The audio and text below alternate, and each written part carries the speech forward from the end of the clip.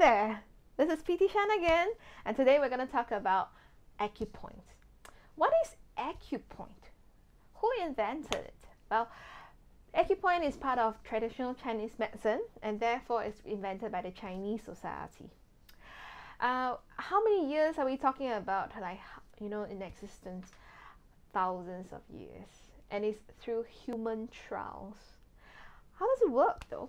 Uh, this is when in the past, uh, when there's no advancement in medicine, uh, but when people starts to get injured during their work, and this is where they start to trial and error, and they found out that when they have a certain condition or illness, there will be certain points that they touch that will actually make them feel better. Okay, so uh, other experiments that they did was um, when they are injured, they put themselves closer to the fire, put that body part closer, and they feel that, oh, I actually feel a bit better. And so uh, this is where um, heat therapy comes in, and also when needles are being invented in the Bronze Age, then that's where acupuncture comes into the picture. But all of them works on acupoints.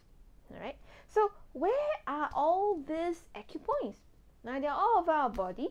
There are, as of today, 2022, there are 362 points around the entire body.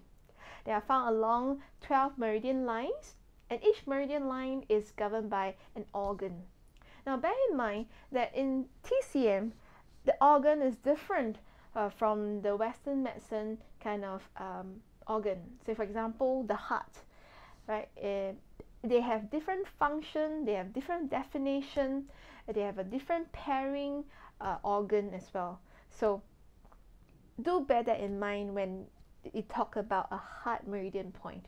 It's probably not here, but somewhere along the hand. Okay.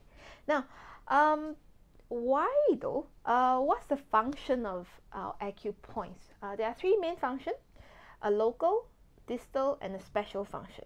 What does it mean?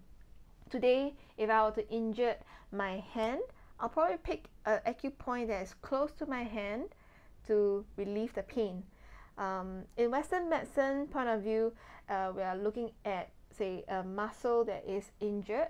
We go along the muscle belly. Some of you will know it as trigger point.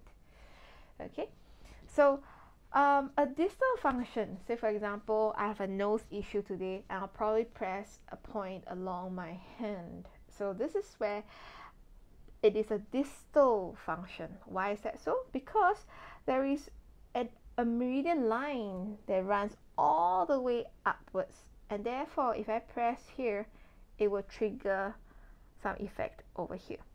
Okay. Now, the third is a special how do they find out? Is through experience. Really, a lot of years, thousands of years of human trials. So when they have a certain condition, they just find that most effective and efficient spot, and they just treat from there. Okay. Now, uh, well, what does it mean though when you have pain? When someone say, "Oh, I'm pressing on this acupoint," and what it means is it's blocked the qi and blood circulation is just not there. Think about our MRT line. When one station doesn't work, there will be a lot of complaint. So along one meridian line, if one acupoint doesn't work, it will give you a lot of pain. Okay.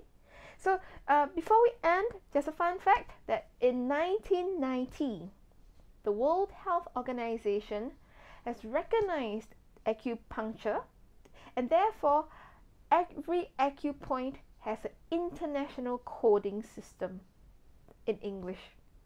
So with that, I hope you're slightly more interested in acupoints.